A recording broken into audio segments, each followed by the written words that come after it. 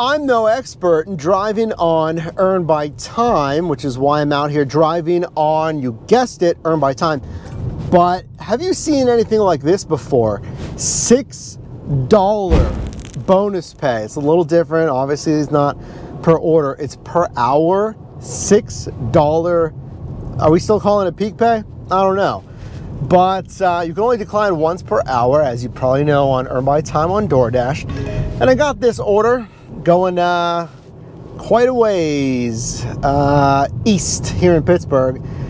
I let it go. I'm like, all right, yeah, not fantastic. It's what, 22.50 uh, an hour plus tips. And then I got this one. It's a stacked order. First pickup is from that same restaurant. Obviously, I got a second pickup, but it's shorter miles. It says it's gonna take a good amount of time as well. So there's a trade-off there because I have to do another pickup. So why not? I want to see how this is. So 22.50 on $6 per hour plus peak pay earned by time on DoorDash. Is this going to be worth it? Is it going to be a complete bust? Let's find out. Pickup number one, seamless at uh, my favorite alley side pickup spots here in Pittsburgh. Literally, it's in an alley. Virtual kitchen, that's how they do it. So now I got six minutes, 2.2 miles to Papa John's. I know where it's at, but then again, I got two drop-offs after this. DoorDash quoted like 52 minutes for this delivery, so let's see. All right, could it be that the craziest thing just happened to me? Listen to this. This order was also instantly ready, folks. 12, oh, it's 12 minutes though. 3.6 miles to this customer. I mean, best case scenario, we're two for four. All we need are uh, two seamless drop-offs. And uh, we're optimizing on time here on Earn by Time. All right, easy enough. Customer came out and I still took a picture. I'm not not doing it. I mean, you can click handed it, I guess. But uh, didn't even want to consider that. I was just like, hey, just got to take a picture real quick. Set it down, picture, boom. There you go. Have a good night. Now, I have a question. Since I'm driving on Earn by Time and the $6 per hour incentive goes until now, until 8 p.m. So that's done. So my question is, I wonder how much uh, hourly bonus, if any, is going to be present after I'm done with this delivery. Because it's already after 8. And I'm on a, a dash right now. I'm on a delivery. So we'll see. Do you think it's going to be down to zero? Or do you think there's going to be some kind of hourly peak pay incentive? Let's find out. All right, number one, am I on the bumpiest brick road here in Pittsburgh? Yes. Number two, what did you comment down below? After, oh, here we go. Here's some pavement. Ready? And there we go, folks. Number two, how much, I asked you, hourly peak pay is there now? Because it was ending at 8 p.m., $6. I'm going to show you the breakdown actually in a little bit here of those earnings. What after that though? So here's the answer. If you didn't type it in, you can type it in now. Currently, there is zero dollar peak pay. There is absolutely nothing. And at least I can tell that by going into the uh, main menu when you're on a dash and it should say like, hey, $2 peak pay until 8 p.m. or whatever. I don't know if it's different for Earn by Time. I'm assuming I'm still on Earn by Time because I'm still dashing. I didn't stop dashing. Now here's what you can do because half of me thinks it's kind of going to be dead now, uh, 8.14 p.m. You can still stay online because if you technically go offline right now and you drive back into a busy zone, which is what I'm doing right now, I'm driving into a busier zone, then it's no longer business miles. Technically, they're commuting miles, which generally you can't write off. I'm not a CPA, not a test professional, consult yours, but uh, that's what the research tells me. Because technically, you're not online with any gig apps. You can't even get a request. So how can these be business miles? You could say, yeah, it's strategic miles. I'm intending to do business when I get there. But currently, these miles, you don't intend on taking any business between now and there. So what you can do is just stay online and keep getting order requests. And obviously, if there's a good one, take it. And if not, you can decline it. You're free to do that as an independent contractor.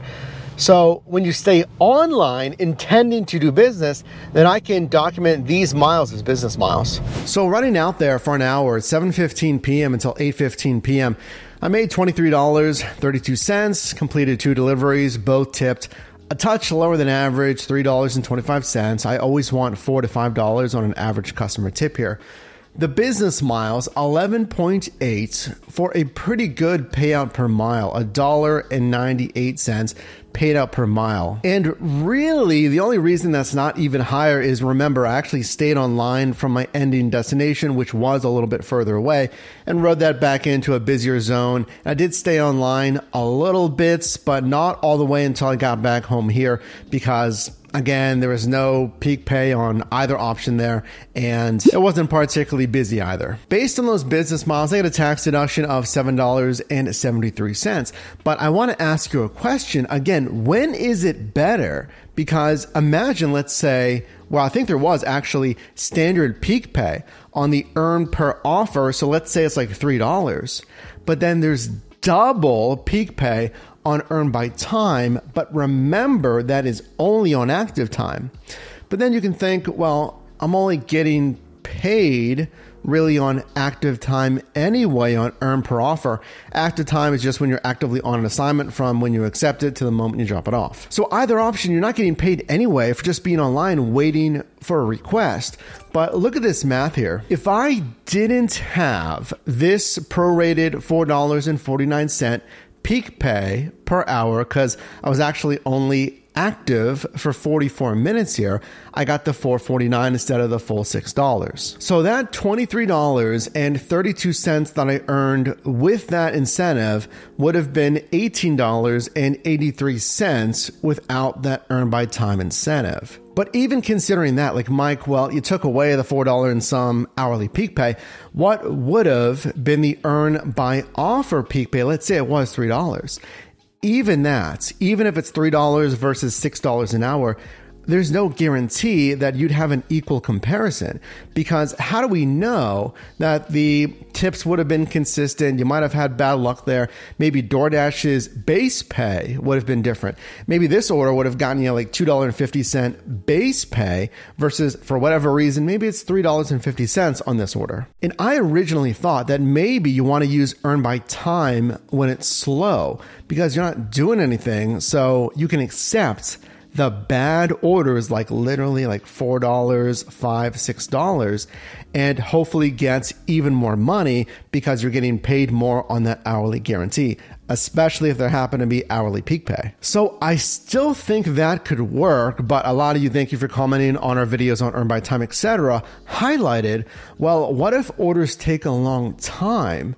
So if i did one two or kind of the rare triple stacked orders and there's a delay there's two delays, there's traffic. In this order, let's say I was only able to do two per hour versus if I'm really moving, I can do three, maybe four in an hour, then I'm making the same money, maybe even more money in some cases, and I'm driving possibly less miles there. And I'm earning that because, yeah, it's taking longer. And frankly, you don't even have to sweat about any delays because you're guaranteed to make X amount. It's even better again if there's hourly peak pay plus tips. Because the more and more I think about it, there's not really a catch all one scenario example. I think there's a lot of different scenarios where you can use one over the other, different strategies, how different markets perform. Maybe this market has a ton of traffic. Maybe this market is slow and it doesn't have a lot of orders. So if you did earn by offer, you'll get one two offers and maybe they're just absolutely horrible versus just kind of cutting the losses there and getting the guaranteed pay.